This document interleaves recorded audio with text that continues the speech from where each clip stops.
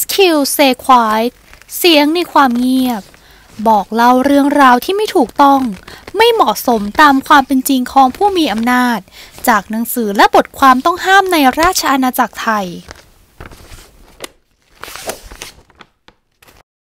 กำเนิดสยามจากแผนที่ ประวัติศาสตร์ ภูมิกายาของชาติ โดยธงชัยวินิจกูล แปลโดย พวงทองพวัชรพันธ์ ไอดาอรุณวงศ์ พงเลิศ พงวนาน อ่านโดย SQ Stay Quiet เสียงในความเงียบ ภูมิกายามีอำนาจ ความหลงไหลบูชา f e t i s h i s m ในความเป็นชาติของโลกสมัยใหม่ เป็นเรื่องออกจะน่าชงน และต้องการคำอธิบาย โรเบิร์ตแซตชี้ว่าผู้คนมาคิดว่าดินแดนของชาติมีอยู่ตามธรรมชาติ พวกเขาจึงสังกัดเป็นส่วนหนึ่งของดินแดนชาติ ทั้งทางอารมณ์ ความรู้สึก และจิตวิญญาณ ส่วนเบนแอนเดอร์สันก็อธิบายความสัมพันธ์ระหว่างชาติกับธรรมชาติว่า การทำให้ชาติกลายเป็นสิ่งที่มีอยู่ตามธรรมชาติ จึงทำให้การสังกัดต่ออัตลักษณ์หนึ่ง รวมกันอย่างเป็นธรรมชาติ เกิดขึ้นตามไปด้วย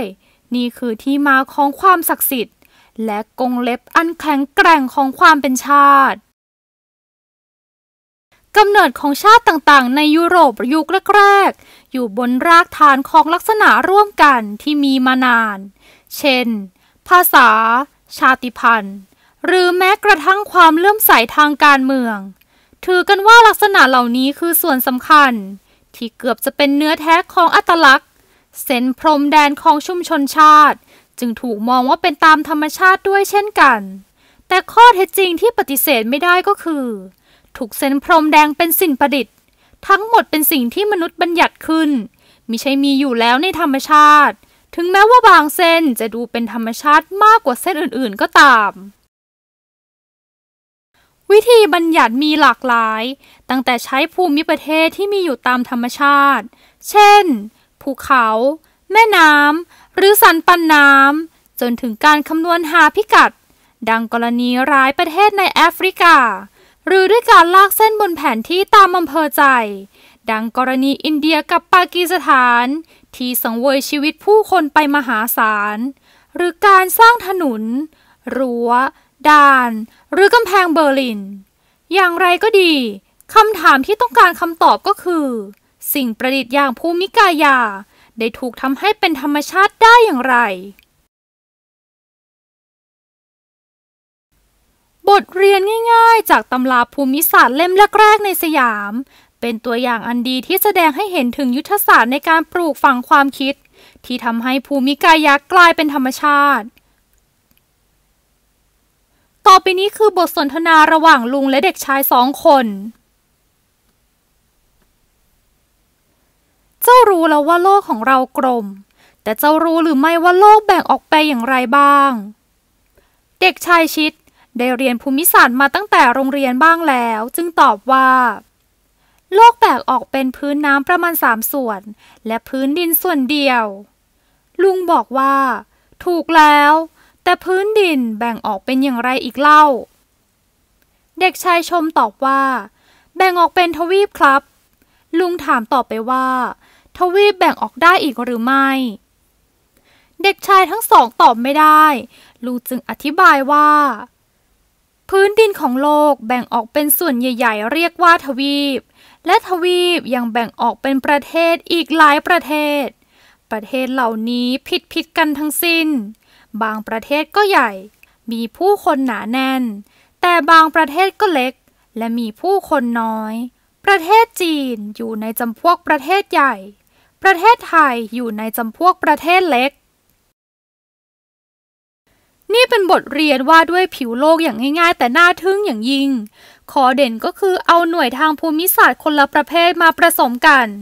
กล่าวคือชาติกับภูมิประเทศตามธรรมชาติ กลายเป็นส่วนหนึ่งของพื้นผิวโลกตามธรรมชาติ เช่นเดียวกับพื้นแผ่นดินและมหาสมุทรความแตกต่างระหว่างสองประเภทอยู่ที่ขนาดแค่นั้นเอง การอธิบายทำนองนี้ ยังปรากฏอยู่ในตำราภูมิศาสตร์รุ่นแรกๆในสยามเกือบทั้งหมด และอาจจะเกือบทั้งหมดในปัจจุบันด้วย หนังสือความรู้เบื้องต้นเกี่ยวกับแผนที่ชาติต่างๆ ของไวเดน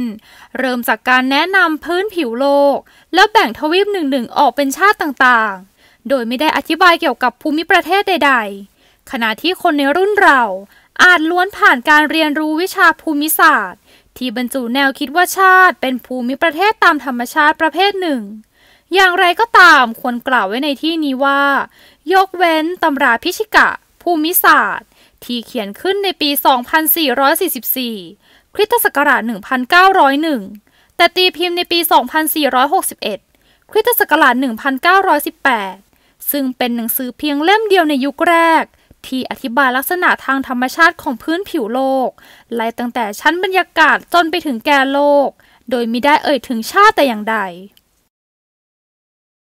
การทำภูมิศาสตร์ให้กลายเป็นสิ่งธรรมชาติ สามารถกระทำได้อย่างง่ายดายเพราะฐานทางกายภาพของมันคือพื้นผิวโลก อีกทั้งคำที่ใช้แทนภูมิกายาอย่างภูมิศาสตร์และประเทศล้วนคงรากศัพท์ และการอ้างอิงถึงโลกหรือแผ่นดินไว้ วัฒนธรรมอุตสาคเนโดยมากถือกันว่า พื้นดินคือส่วนที่สำคัญอย่างยิ่งของการกำเนิดมนุษยชาติและอารยธรรม นาคหรือไม่ก็พระแม่ธรณี คือมารดาของมนุษยชาติ ความหมายของมาตุภูมิ จึงฝังรากลึกอยู่ในวัฒนธรรมทั้งหลายในรูปใดรูปหนึ่ง ในยุคก่อนสมัยใหม่ พื้นดินหรือแผ่นดินแม่อาจระบุด้วยวัดวาอาราม หรือด้วยพรมแดนทางธรรมชาติ หรือถือเอาพื้นดินของชนเผ่า หรือเครือญาติตามความเชื่อเดียวกัน เรื่องปรามปรากำเนิดมนุษย์ หรือปริมณฑลที่อยู่ภายใต้เจ้าเหนือหัวสูงสุดคนเดียวกัน ในยุคสมัยของเรา มาตุภูมิระบุได้ด้วยภูมิกายา ภูมิกายาเป็นรูปธรรมอย่างใหม่ให้แก่แผ่นดินแม่เป็นที่รัก หรือแผ่นดินที่เราอาศัยอยู่ร่วมกัน ในทางกลับกัน ภูมิกายาจึงได้รับความจงรักภักดี ที่มนุษย์มีให้กับแผ่นดินมาแสนนานเป็นสิ่งตอบแทน ด้วยเหตุที่แผ่นดิน เคยเป็นตัวนิยามการอยู่ร่วมกัน ภูมิกายาจึงได้รับมอบความสำคัญยิ่งใหญ่ของพื้นดิน พร้อมๆกับทำให้ตัวมันเองเป็นตัวนิยามลักษณะร่วมกันของผู้คนบนผืนดินเดียวกัน ไม่เพียงแต่ภูมิกายากลายเป็นธรรมชาติ แต่มันยังถูกโยงเข้ากับสิ่งที่คลิฟฟอร์ดเกียร์เรียกว่าความผูกพันดั้งเดิม primordial sentiment ของมนุษย์ ที่มีกับพื้นดินอีกด้วย อย่างไรก็ตาม ความเป็นธรรมชาติมิได้เป็นวัฒกรรมเชิงยุทธศาสตร์อย่างเดียว ที่ภูมิกายาใช้สร้างสำนึกของการเป็นส่วนหนึ่งของชุมชนเดียวกัน ความสำคัญของพื้นดินหรือโรค อาจแตกต่างกันไปในแต่ละวัฒนธรรม และอาจมีสื่อสร้างชนิดอื่น ๆสำหรับนิยามเอกลักษณ์ร่วมกัน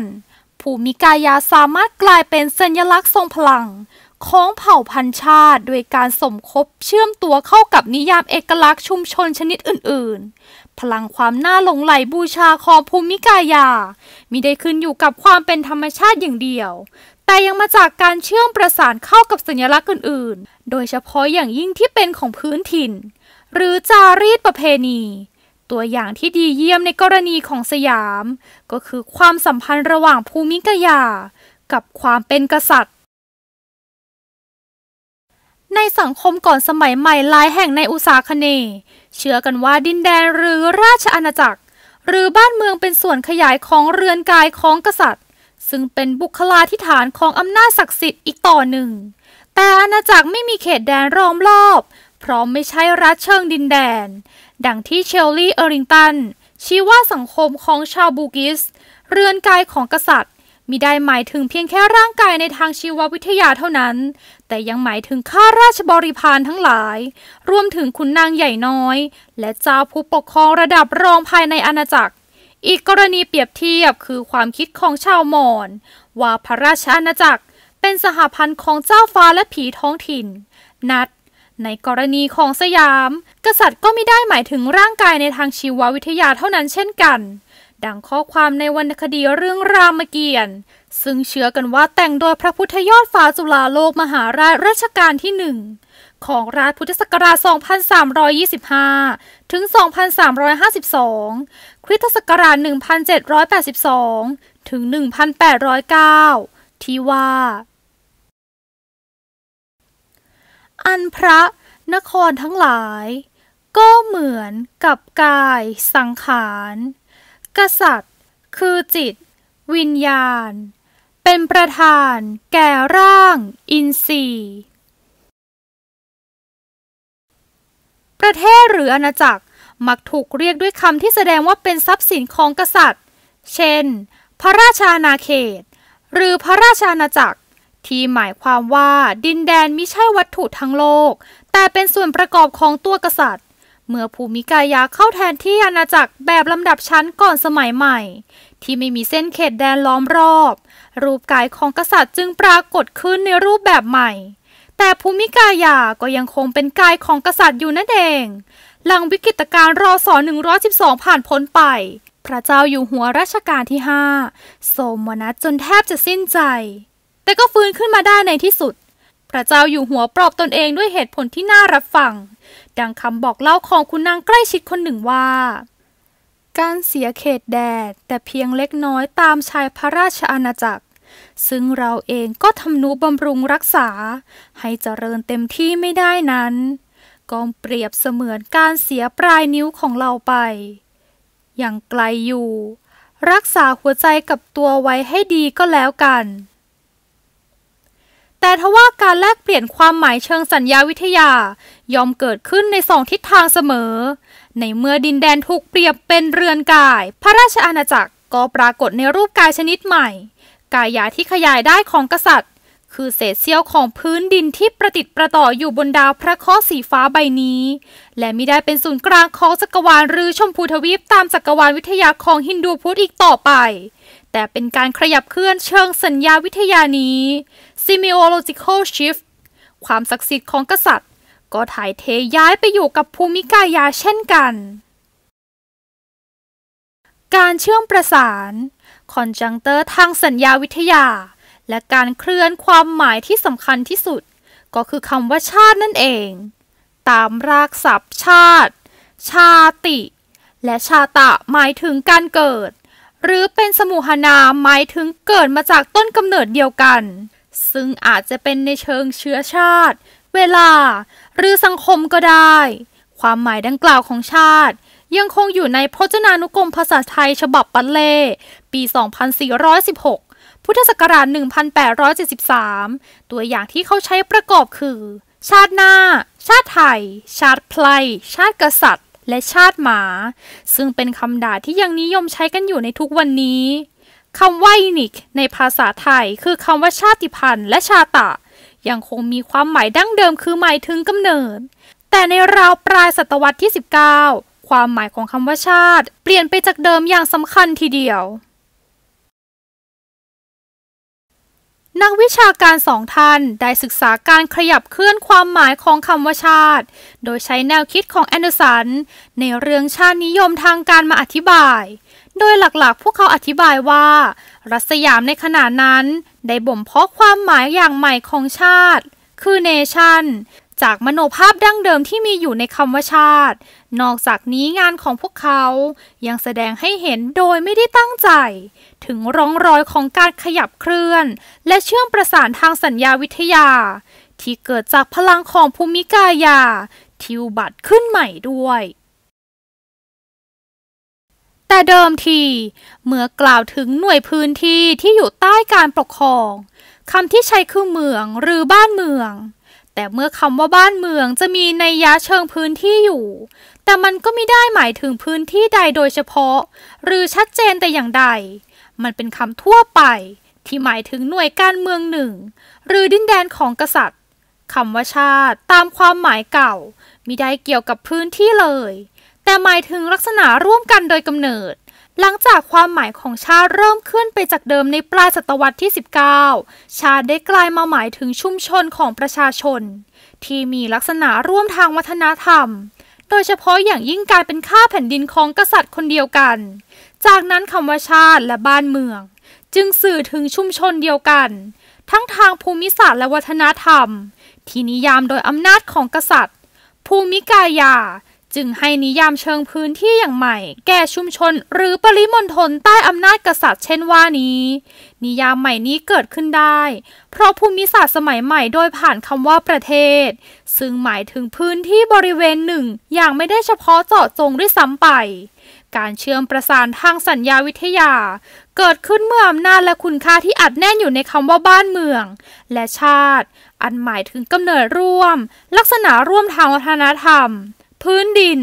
และกษัตริย์ศักดิ์สิทธิ์ มาประจวบกับอำนาจและคุณค่าที่มีอยู่ในภูมิกายา แล้วถ่ายทอดอำนาจและคุณค่าให้แก่กันและกัน การเชื่อมประสานทางสัญญาวิทยานี้ เกิดขึ้นกับคำว่าชาติ และประเทศ กล่าวคือคำว่าชาติ ซึ่งมีรากหมายถึงอัตลักษณ์ร่วม กับคำว่าประเทศ ซึ่งมีรากหมายถึงเทศะพื้นที่คำทั้งสองกลายมามีความหมายเดียวกัน ต่างมอบความหมายและคุณค่าให้แก่กันและกัน นับแต่นั้นมาคำทั้งสองมักถูกเอามารวมเป็นคำเดียวกันอยู่เสมอ กลายเป็น ประเทศชาติ หรือชาติประเทศ อันเป็นคำที่ถูกประดิษฐ์ขึ้นอย่างพิถีพิถัน โดยเอาคุณค่าตามจารีต ผสมผสานเข้ากับกายภาพรูปธรรมของยุคสมัยใหม่ การเชื่อมประสานมโนภาพภูมิกายา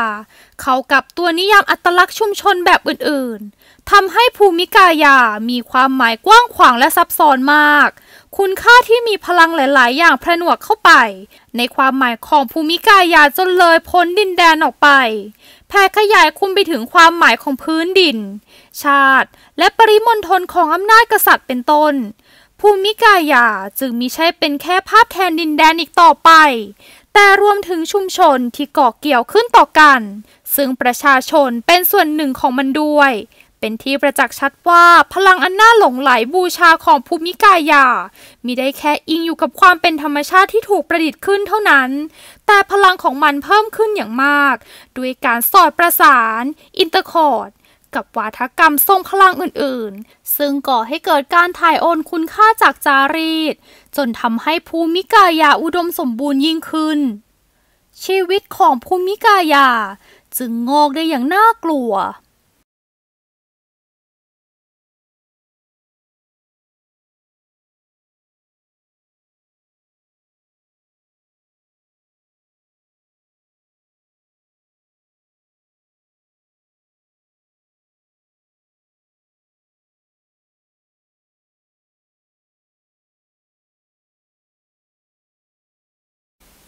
อย่าลืมกดไลค์กด subscribe และกดกระดิ่งแจ้งเตือนด้วยนะคะ